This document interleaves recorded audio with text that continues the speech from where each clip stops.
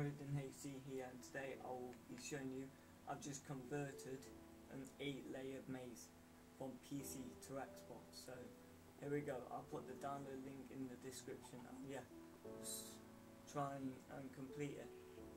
It's a bit hard for me. It's a bit hard. I'll have a go now another go anyway oh bob it I won't. Anyway thank you for watching that and it's me Proden